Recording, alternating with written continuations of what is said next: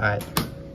This is service elevator number one at the mall at University Town Center in Sarasota, Florida.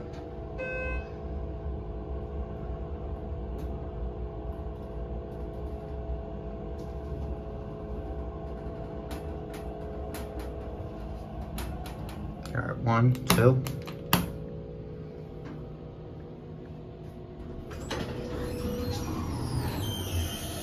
There. Look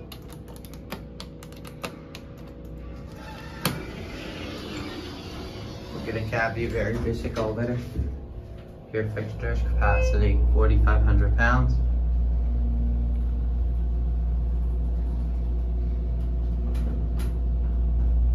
Here are two. And that's it.